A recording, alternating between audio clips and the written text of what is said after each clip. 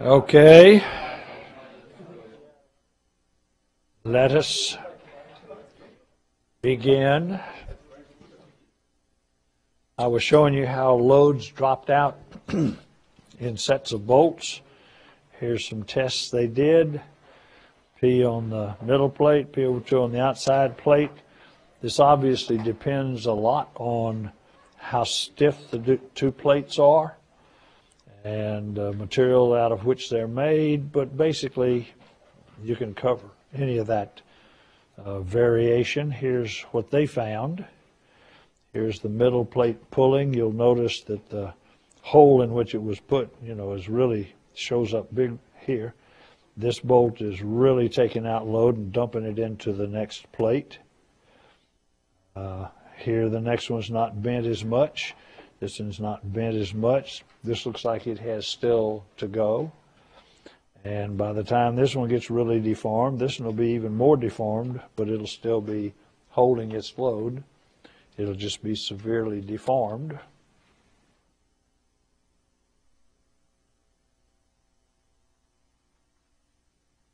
We discussed block shear. We mentioned that we don't even have a symbol for F sub u for shear, since it's six tenths of F sub u ultimate in tension. We just use, we don't even have that symbol, you know, just to make sure you know what I'm talking about. It's F sub u in the book, six tenths of F sub u. If you ever have something in shear, a surface in shear, then it will be six tenths of the tensile strength. Now, if the bolt people use that or not, that's the bolt people's problem. And uh, if we use their specifications in our specs, then, uh, you know, we'll do whatever they do. But for the types of steel we use, structural steel, uh, A36, all that kind of stuff, we're going to be using six tenths of the ultimate for the ultimate in shear, and the yield in shear will be six tenths of the yield in tension. We mentioned that as the steels got stronger, we started having problems with the little corners breaking off. When we'd pull these little corners out, we would notice that some of it got sheared, and therefore you really ought to be applying a F sub ultimate in shear, which would be six tenths of F sub ultimate in tension, which would be six tenths of F sub Y on the sides that are sheared, wiped across, and the little end here that's actually is placed in tension, you ought to be using F sub u, T or just F sub u on that area to determine how much load it took to pull this corner off. That's called block shear.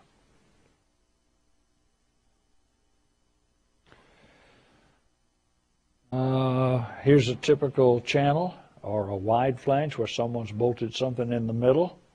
I can't tell if it's a channel or a wide flange and it tore this little block out of the middle and that little piece of steel that used to be called the web of the channel is now part of the plate.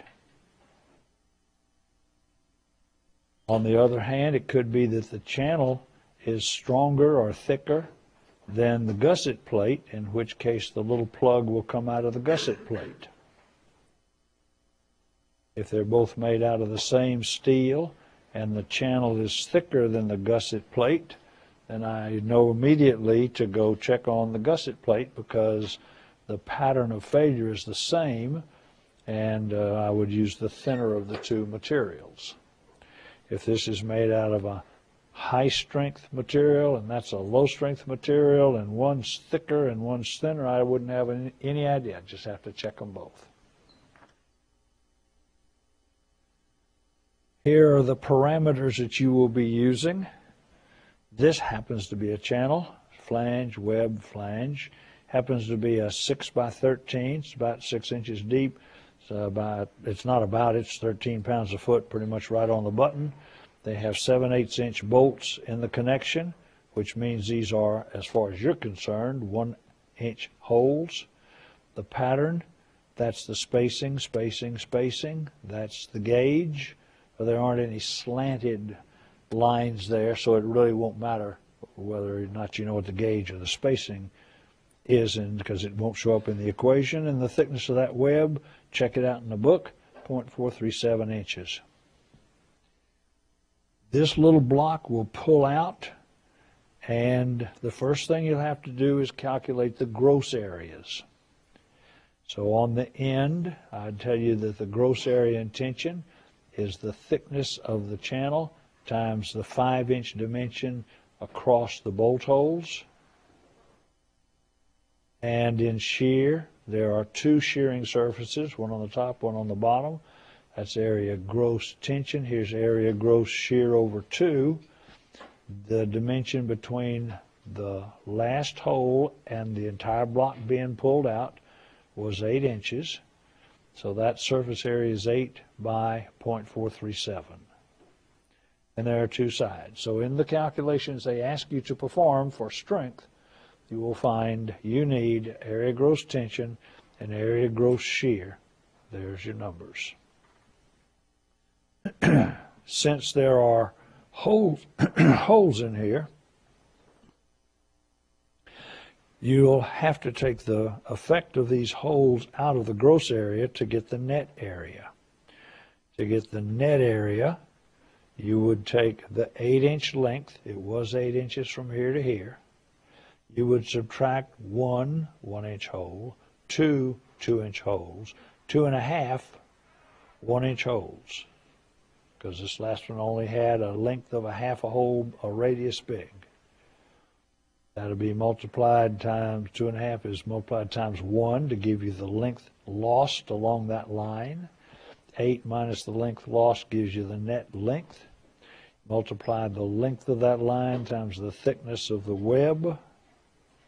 And there's two of them. So your net shear area is this number right here, whatever that calculates.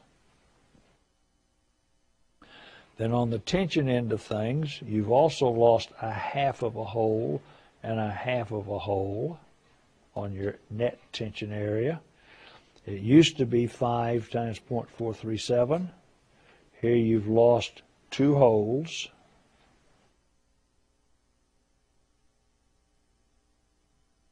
With two holes, that's a half of a hole and a half of a hole. Each one of them was a half inch across, half inch across, half inch across, and that length times that distance gives you the cross-sectional tension area on the back side here with the holes on each side.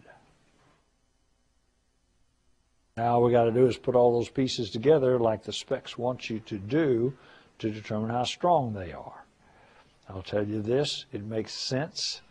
If all of a sudden they go out and test it and something doesn't make sense, the first thing they do is they change the specs until it's true. Then they try like crazy to explain why it's true. And if they can never figure it out, they don't care. I mean, they care, but they don't know. If they say, look, multiply times 0.5, you have to do it because test has shown that's what you need to do. Now, this is a typical failure pattern where there was a plate on the top of a wide flange and a plate on the bottom of a wide flange, or possibly a S, and it failed. It failed on this shear surface, two, three, failed on four shear surfaces, and it failed on these relatively small tension areas. So your area net shear would be the length from here to here minus a half, one and a half, two and a half, minus two and a half holes times the thickness. The net tension area would be how far it is they drill the hole from there to the edge, minus a half a hole. That'll give you this dimension. Times, what is that thickness of? Thickness of the flange, that's correct. And there are four of those. So this right here pointed to, that's a fourth of the area net tension. That's the way these things really fail. This is not how they fail. I mean, you know, it could be. You could say, why not? You know, it's torn loose just like the other one had pieces torn off of it. Well, if you'll notice, you have the same shear here. As you have shear area here. So the shear area on both thoughts of failure are the same. The difference is the tension area is small plus small plus small plus small times. That's small times 4.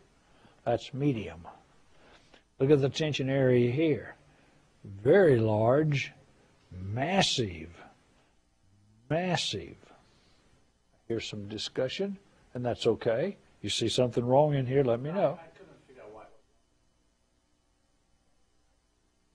No, that's fine. And talking to people like that, that's fine, man. I don't ever fuss about that.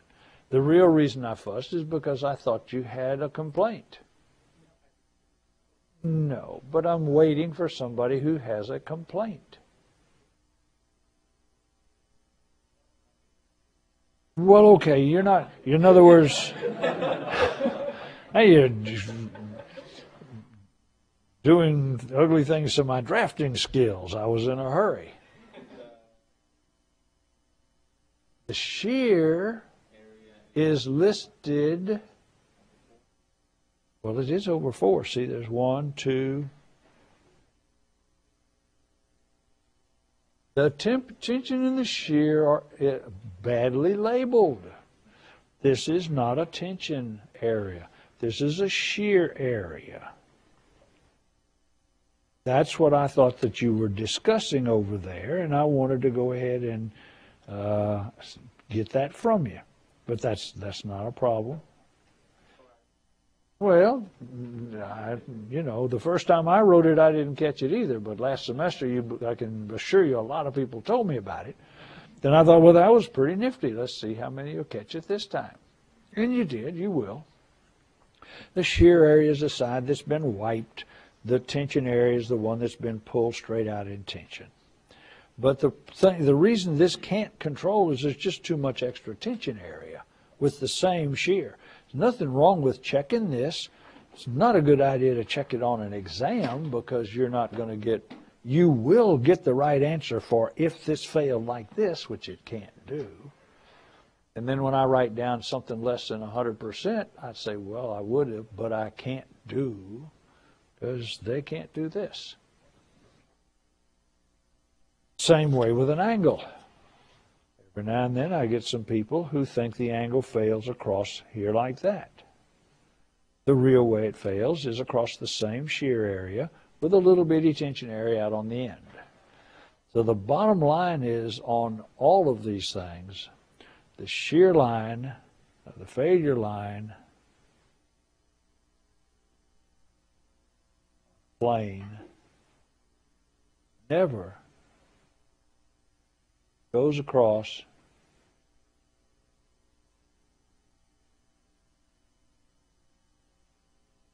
the outstanding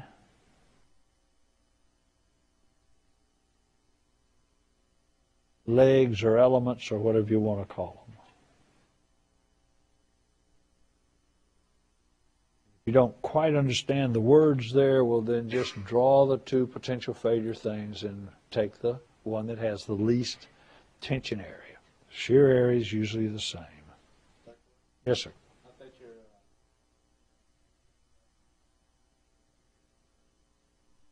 Yeah, I do. Would you like to buy one? No? Well, sorry, your fees only get poorly drawn hand things. That's all you get. Now, here is a beam that is being framed into a girder, and they've had to cut the top out of it so that the floor will remain at the same elevation on the whole thing, and they pour concrete across the top. They'll come in here and they may, like on this side, and I'll just show you one of them. Show that in 3Ds. That goes like that.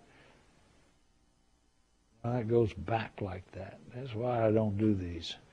Goes like that, goes like that, goes like that, goes like that, goes like that. There we go. That's getting close.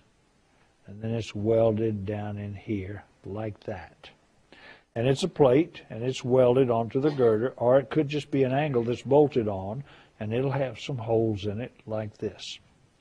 What happens is when you bolt these two together, the load on top of the beam has a tendency to tear this little corner out. If you still have that top flange, you won't get a failure. You'll put so much extra steel up there that it won't happen. So this is only when you cope a beam. Then you have a tendency to block shear rupture this little piece out of the web of the beam. And the stresses they find are nicely and uniformly distributed. And you get the full strength of this little tension piece down here. If, on the other hand, you have two columns of bolts, sometimes three columns of bolts because you have a whole lot of load, it turns out the stresses are not nicely uniformly distributed. They are they look more like this.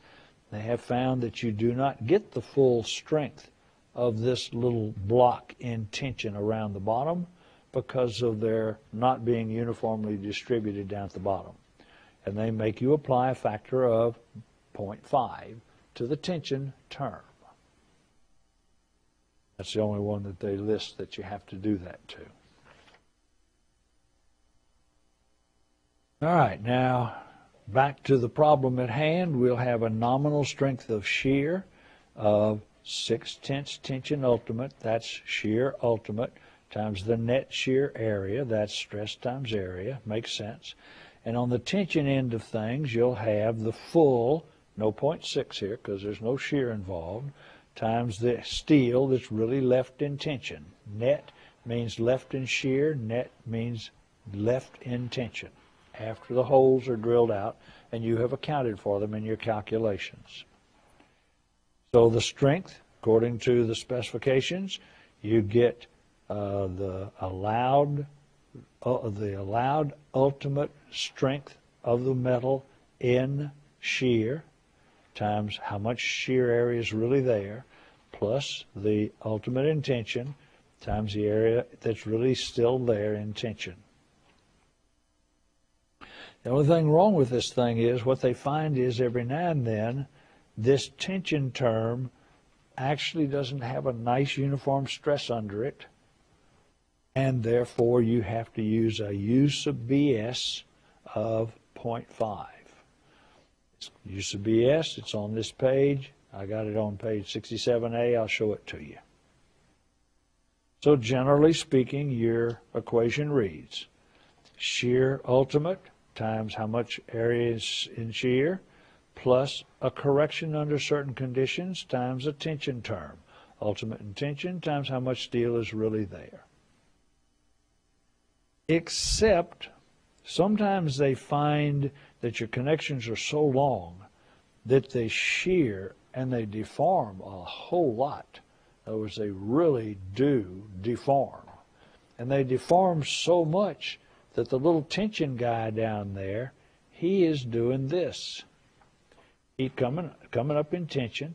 He's yielding in tension. Everything is fine but he's getting so much deformation, he's actually getting out in here.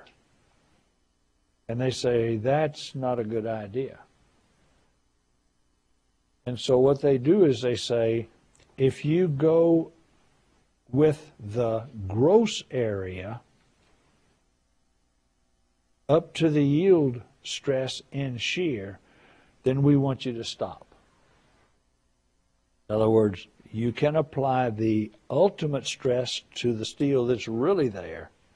But we found that if you exceed F sub y in shear times the gross area, it's deformed so much we don't want you to continue. You must stop. So first thing you do is you calculate your number here. This number will be the same in both cases. But if this term right here has driven that up above f sub y, 6 tenths f sub y gross, have to stop. So calculate this, then calculate this, and I don't know, it's always interesting, you know, make sure this is less than that. Uh, that tells you what you're supposed to do. The truth is, he could just as easily have said, make sure this is less than that.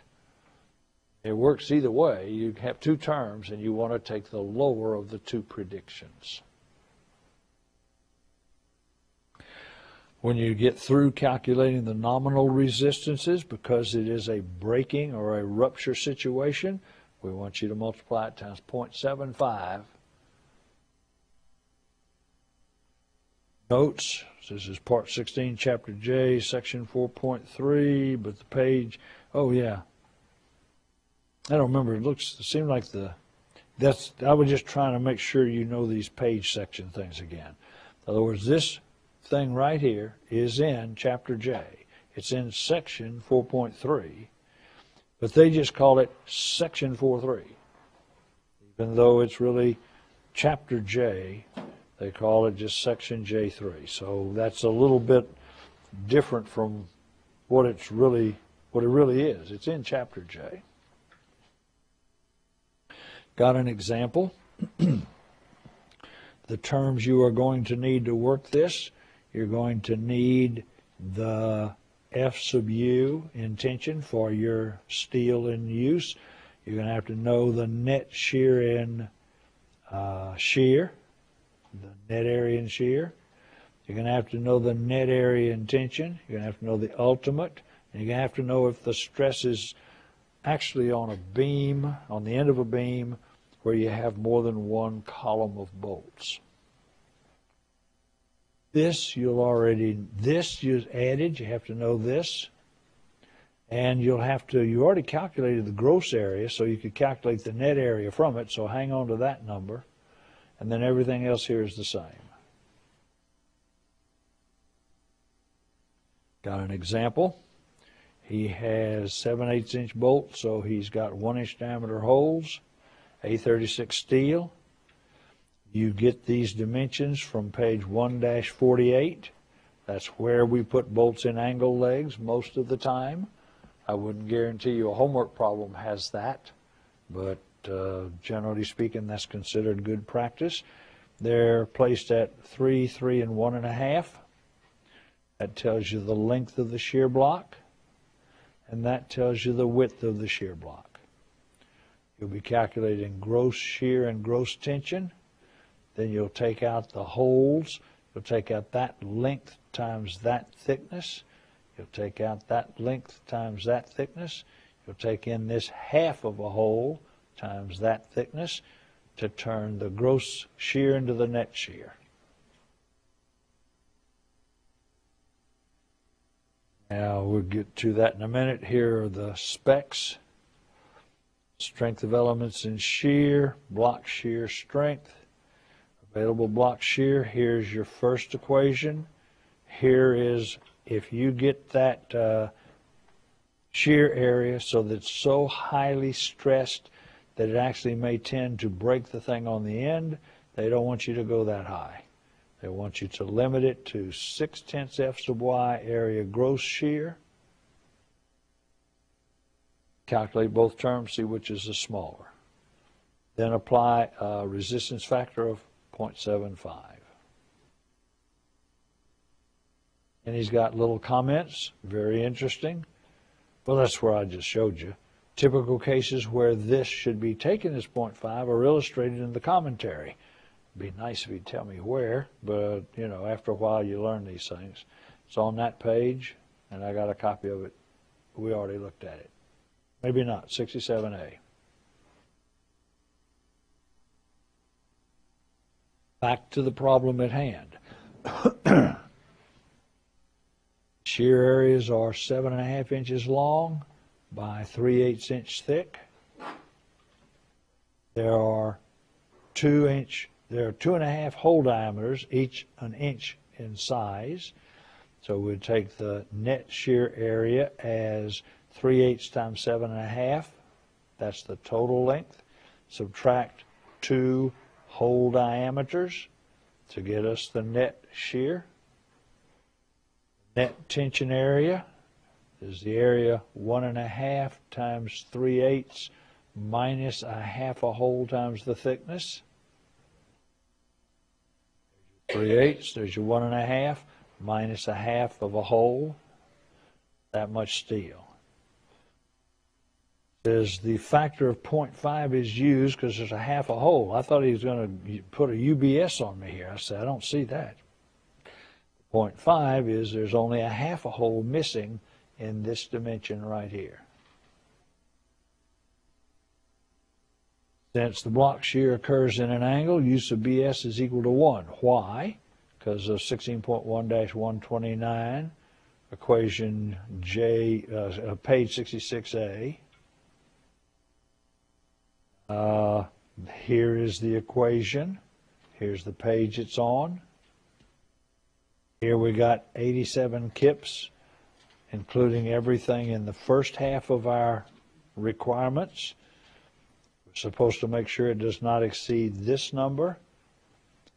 Six tenths of 36. Where did the 36 come from? A36 steel, that's right. Times the area gross in, uh, area gross in shear. You'll notice you have a reduced stress, but you have an increased area. Then the second term remains the same. It's 82.51. Huh. Look at that. This thing evidently would deform so much in shear that he's not going to let you let it go all the way up there. He's going to restrict you to 36 times 0.6 times the gross area, F sub y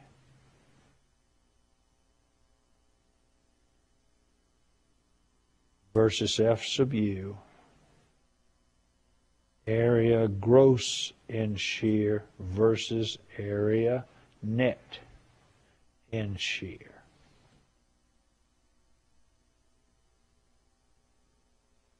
So you get the lower of the two, 82.51 kips. Then to go to the design, you got to multiply times the resistance factor of 0.75. When you bring up your 1.4 dead, and you bring up your 1.2 dead plus 1.6 live plus 0.5 snow, and you put in your earthquake and you put in your wind and you put in all that stuff, do not come up here with a number bigger than 61.9. I won't let you through the door. You say, I got to have a bigger number, then you're going to have to pay for another design because that angle didn't work. Yes, sir. UBS is U for uh, block shear when the block shear element is not uniformly distributed across the bottom. Here it is right here. It's on page 16.1-412. 7A in our notes. Here is a little block that is pulled out only if the beam is coped. If it's not coped, you don't have to check block shear. Here it tore out a corner of an angle. As you might imagine, this is the tension side, and therefore that's where the stresses are problematic. Here's an angle that's bolted on or welded on and the stresses are uniform, considered to be uniformly distributed. Here's a welded angle, uniform. Here's a welded angle on a on a uh, coped beam. Here is a bolted plate or angle to the column, one row, one column of bolts. Here's an angle where the side's torn off rather than the middle out of the gusset plate. Here is a plate, a gusset plate with bolts on it, and those are considered uniform. And then all of a sudden you run across one. Here's your column, here's your beam. Here you have two columns. They have found the stresses are not nicely distributed. They do get higher than anybody thought they would because of that, and therefore cases for which use of block shear is 0.5. So if you have three columns, use a point 0.5. Yes, sir. Well, you get a lot of gain because when you put the bolts on here, the bolts on here were only half as strong as we needed. So the bolt guy did that. And she came in with uh, uh, two rows of bolts. And I said, Oh man, you're killing my beam. She says, That's not my problem. She says, if you'd like, you can get a beam where I can get eight bolts in a column there. So, man, that'll be a 48 by 970 beam. She says, not my problem. Says, all I know is I need eight bolts. So I'm put them that way. Then I got to go find somebody who can do this job with the BS shear U down to 0.5. Well, what happens is the load comes in here and it goes through the bolts, tending to tear this corner out. The bolts press against the angle. The angle then presses against the column, and of course we move on from there. The column load goes on down into the footing, and it goes on down into the earth, and that's the end of it. Yes, sir. Yeah. Yeah, they, uh, they they definitely tend to shear a block out of the out of the gusset plate, and they also tend to shear. Uh, they won't like this one right here won't have a block shear on the angle. No, if that's your question, there'll be no block shear on this one on the angle. There will be a block shear in the in the gusset plate. In other words, it'll pull a little chunk right out of there. All right, another thing we worry about is a radius of gyration. Um, you can put plates all over the place. You shouldn't. You should try not to make them so thin that they have a tendency to rattle around when the wind blows. In other words, if you find that this plate works nicely, you need to really check its uh, radius of gyration about its minor axis to see what's going on. Because if it's L over R is very large, then you get these ghost noises. The wind blows and you hear clank, clank, clank, clank, clank. And the guy in the office says, "What the devil is that?" Then we drill through the hole, through the wall, and we look around and we see this thing is flopping around plenty strong, no problem, but then you're going to have to brace it somehow so it doesn't hit the other rod or something. It is suggested that the slenderness ratio of whatever you use, be it an angle or a plate or you name it, shouldn't be uh, over 300. But it is a suggestion. It's a notification that if you make it much over that and don't make some special provision so you don't have some of these things slapping into each other, you're going to have some noises that you don't want.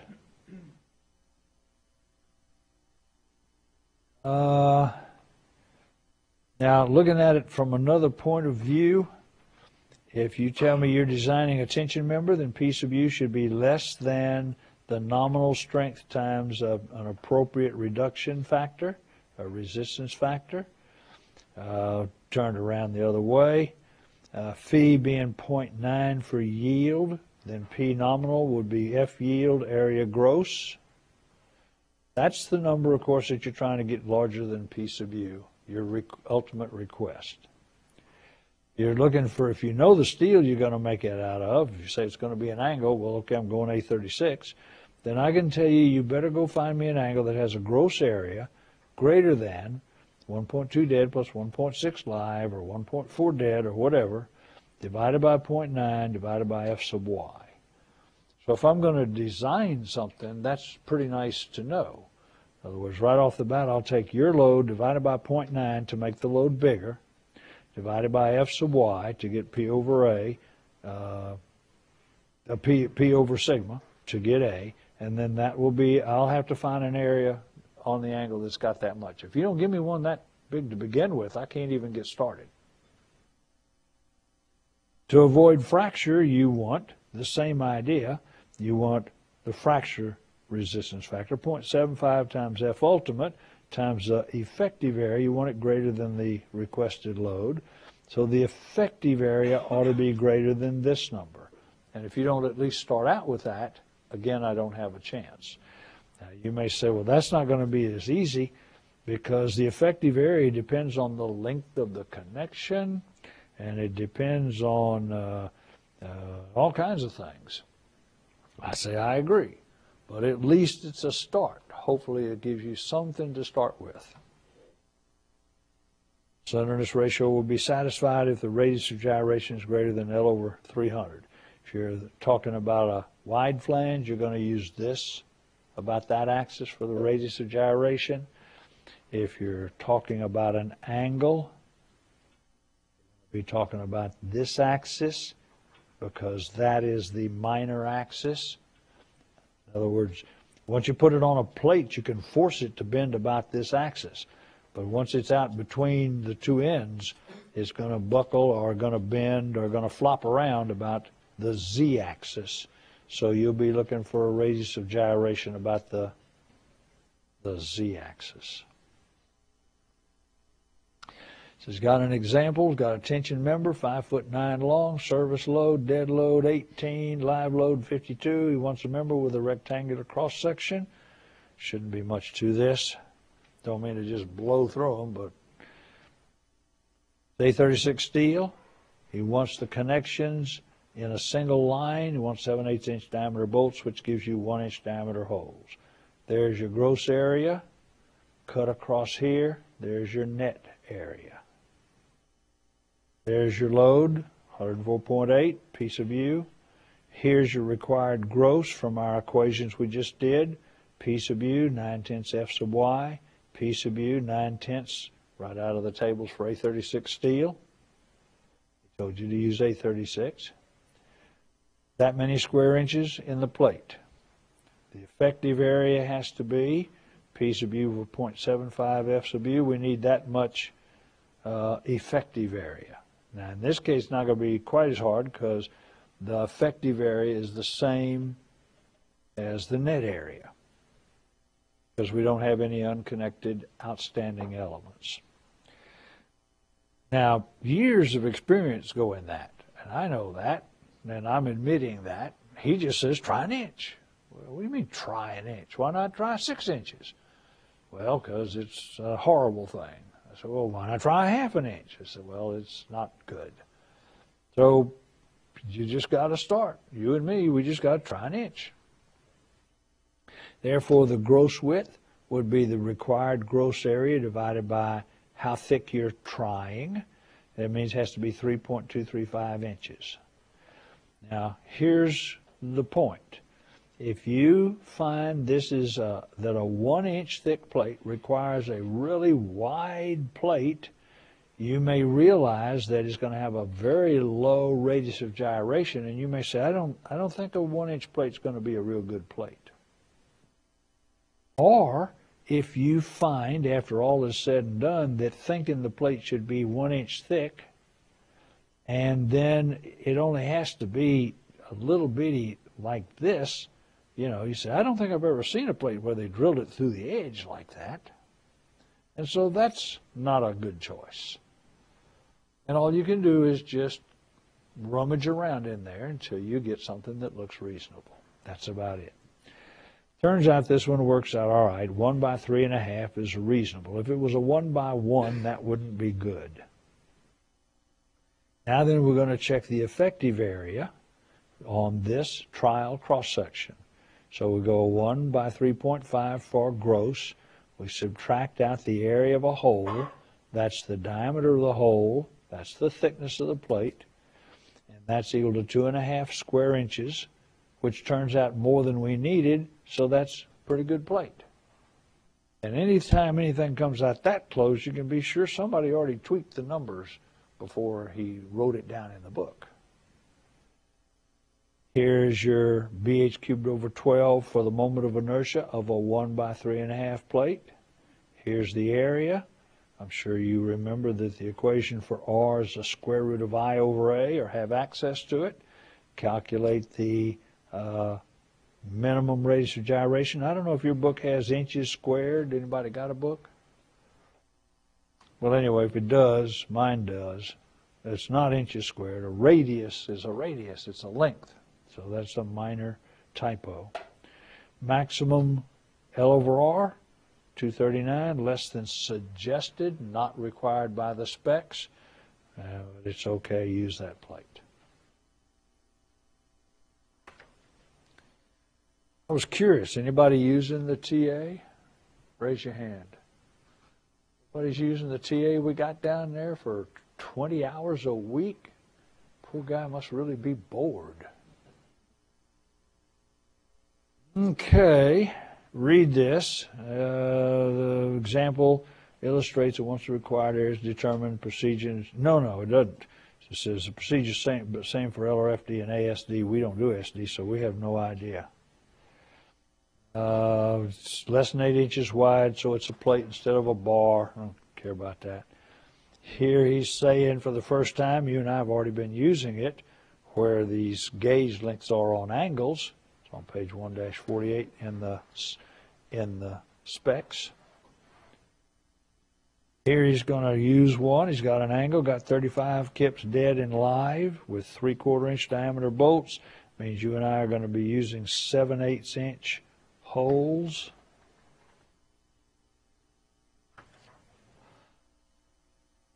Factored load, 154 kips. Required gross area from our equation, same as we did last problem, 4.75 square inches. Effective area has to be this much. Don't know how I'm going to get that effective area to tell you the truth because I got a lot going on here. And as best I know, no, he has. He, he told me the length of the connection. I can check that.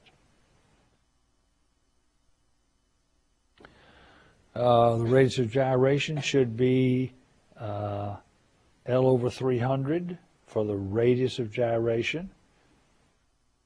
So it calculates we ought to have this number on our angle when we pick it. Find the lightest shape. It says we search the dimensions and properties tables. First off, he wants an unequal leg angle. I have no idea why. Let me go ask him. He says, well, on all the equal leg angles, the angle sticks up pretty far. And I, and I lose a lot of strength because it's a five by stick in the air five angle. He says, if you get me an unequal leg angle, then you'll probably find me an eight by four angle that'll, that'll work and invariably you'll lay the long leg flat on the plate and you'll save me some money. So I want an unequal leg angle. Gotcha. Uh, that has the smallest acceptable gross area and check its effective net area. So about all we can do is pull one that looks like it might work on gross area and then see if we can really make this work. Uh, starting at either end of the table, here's the table, the properties table. We want something that has, what area do we need? 4.75 gross. So we go for 4.75. That one might work, 6 by 4 by half. That one might work. That's got an area of over 4.75. No, no, no, no. Forget it. That's a 5 by 5. That one might work. That's a 5 by 3.5 by 5 eighths. That one might work, but it's an equal leg angle, so got a couple of choices here we can try. Yes, sir.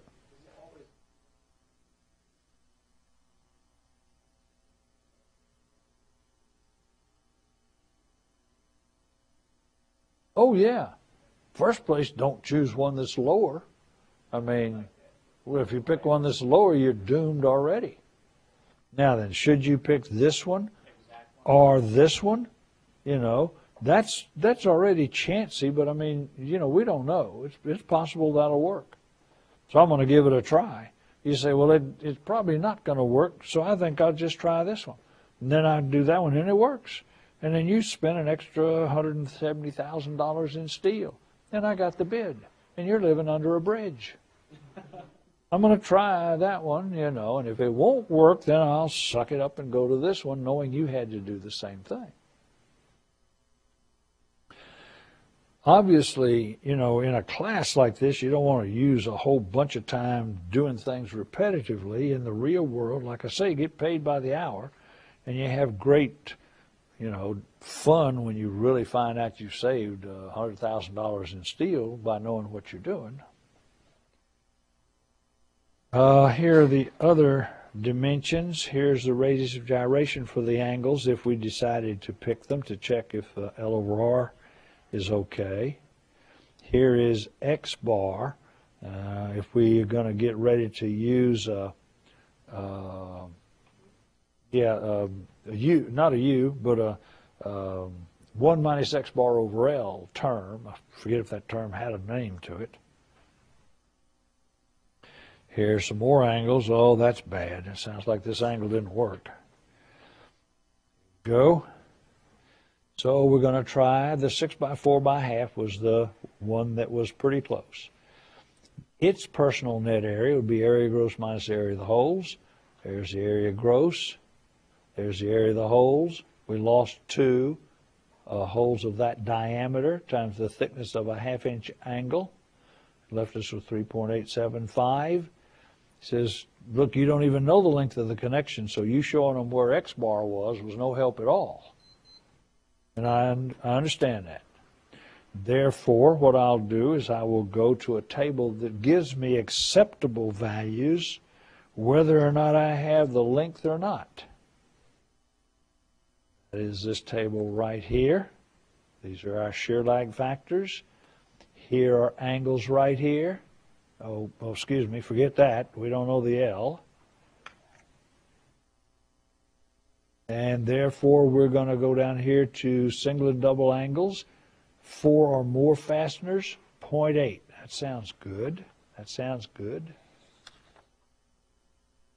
Uh, where's the picture of that thing? I forget how many bolts it had. Four or more. It's got four or more bolts. If you only had three, I'd be stuck with a 0.6. Therefore, having four or more, I get 0.8 multiplied in there.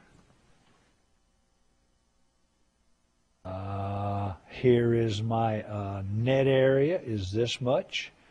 Permitted to use 0.8 whether or not I come out with something even smaller or even worse than this later on. This is still permitted. But I'll, we'll check it before it's over with. no, I won't. I'm not going to bother checking anything. I'm already down to 3.07 square inches, and I'm supposed to have 3.54, 3.54 for the effective. So I'm going to have to use a different angle. You go through the same calculations again.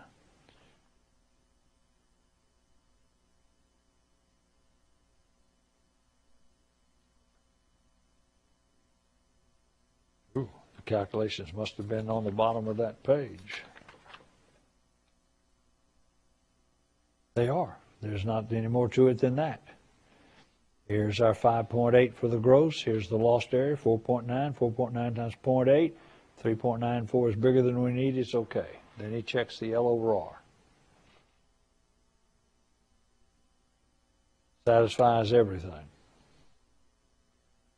All right, now there are tables that will help you design. They are really rough. By that I mean they're just to put you in the ballpark, is all they are going to do. First off, it's not a problem to go get somebody with the right gross area, but that effective area is a problem. So what they have done is they have put together some tables like so. The table is for the kind of steel you're going to use for that kind of a item. And here's the shape, five, six by four by half inch angle, tells you the gross area, and it tells you how strong the thing is in yielding. So if you need 154 kips, this is this guy will do it. Question is is how about the effective area on the thing and without a doubt using the 0.8 or something like that. He didn't tell us. And so you're just going to have to, you'll have to check this when you're through. He says if you can live with the effective area being 0.75 times the gross, that includes the U, that includes the holes, that includes everything. That doesn't include block shear. You still got to check that too. I said, well, I don't, I don't accept that's anywhere near right. I have no idea. He says, well, then don't use my tables. Go away. Well, so wait, wait, wait. I guess I'm not that firm on this point. In other words, he says, that's not a bad average. It's probably half of them are too big and half of them are too small, but it'll give you 155 kips. It gives you a point to start immediately. And then, of course, you don't have to check the gross area because you know it's got the gross area capacity. All you got to do is go check all of the other little doodads in there. All right. See you next time. Go through the example he has on that if you want to use those design tables. They can be handy. Thank you.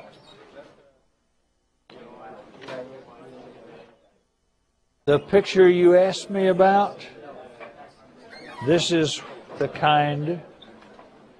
See how the middle piece is just almost destroyed and the back part is broken? Now, had they kept on pulling it out, they'd have pulled this out across the shear as well as this. Then I could have shown you one that was fully broken. But do I have one where the channel is pulled out, or do I have one that the uh, wide flange has the flanges torn loose? I really don't. I haven't seen one of those. The picture on the left is the, uh, the See, you can tell where the old plate was. Here was the old plate right here. See those lines? And obviously, they marked those, you know, with the plate so they could kind of measure how far the plate was distorted or something like that. And this is, both of these are rupture on net tension area. To get rupture on the side, you'd have to use fewer bolts. Otherwise, you're just really not going to get that uh, rupture on the side, and then this thing here still be connected.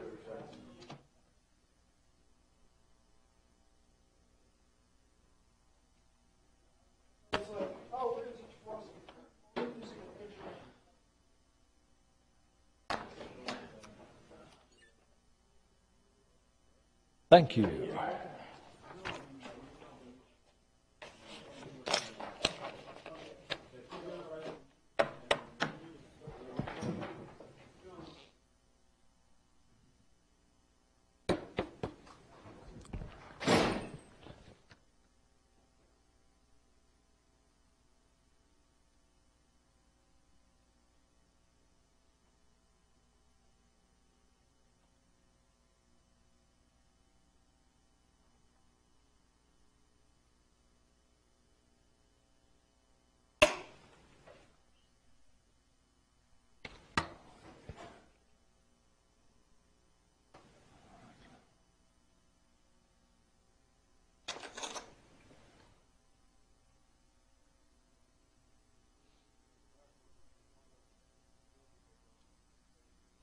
Okay. and, uh, columns and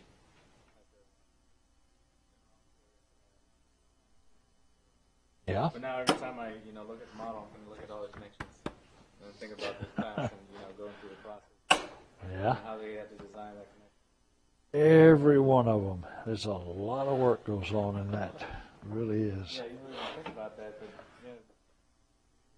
yeah, Yep. Uh huh. You too.